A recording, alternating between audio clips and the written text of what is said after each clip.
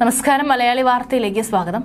മലയാള സിനിമയിൽ നിന്നും ഈ ലോകത്തു നിന്നും മാമുക്കോയ വിട വാങ്ങിയിരിക്കുകയാണ്.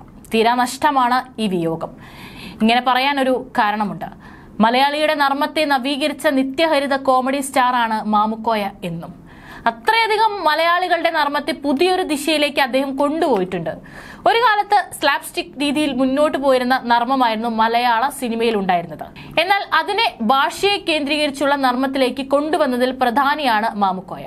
കോഴിക്കോടൻ ഭാഷ എത്രത്തോളം ജനകീയമാക്കുന്നതിൽ മാമുക്കയോളം വിജയിച്ച മറ്റൊരു കലാകാരൻ ഉണ്ടാവുമോ എന്ന് പോലും സംശയമാണ്. നാല് ദശാബ്ദത്തോളം നീളുന്നതാണ് അദ്ദേഹത്തിന്റെ അഭിനയ ജീവിതം എന്ന് പറയുന്നത്. മലയാള സിനിമ ആയിരത്തി തൊള്ളായിരത്തി എൺപതുകളിൽ ന്യൂ ജനറേഷനിലേക്ക് കടക്കുമ്പോഴും പിന്നീട് അത് മാറി രണ്ടായിരത്തി പത്തിൽ മറ്റൊരു ന്യൂ ജനറേഷനിലേക്ക് എത്തിയപ്പോഴും മാമുക്കോയ അതിന്റെ ഭാഗമായിരുന്നു.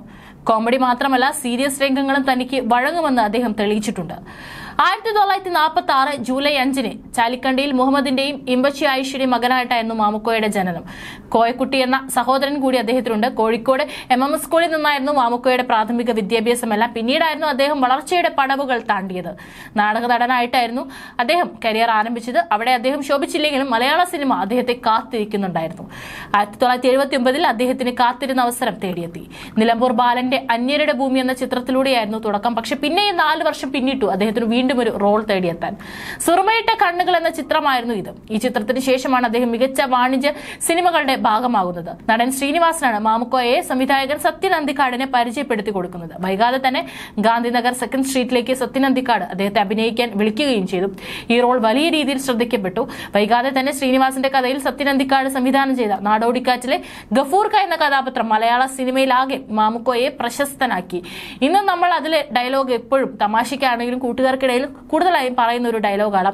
ഈ റോൾ ഇന്നും മലയാളികൾ ട്രോളുകളായും മറ്റും ഉപയോഗിക്കുന്നുണ്ട്. ഗഫുർക്ക ദോസ്ത് എന്ന പ്രയോഗവും ഏറെ ചിരി പടർത്തിയിരുന്നു. പിന്നീട് പൊന്മുട്ടയിടുന്ന താറാവ് വടക്കു നോക്കിയന്ത്രം മഴവിൽക്കാവടി പ്രാദേശിക വാർത്തകൾ പെരുണാപുരത്തെ വിശേഷങ്ങൾ റാംജി റാവ് സ്പീക്കിംഗ് എന്നിവയിലെ വേഷങ്ങളെല്ലാം നന്നായി ശ്രദ്ധിക്കപ്പെട്ടു.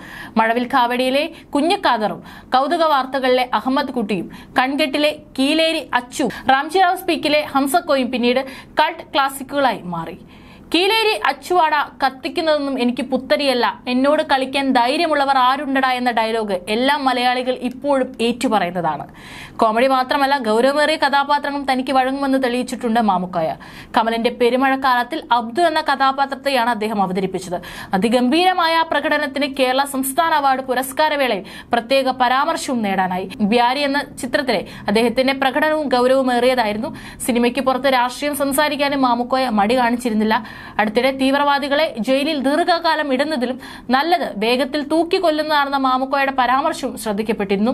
പലപ്പോഴും സാമൂഹിക വിഷയങ്ങളിൽ അദ്ദേഹത്തിന്റെ പ്രതികരണങ്ങൾ ശ്രദ്ധ നേടാറുണ്ടായിരുന്നു.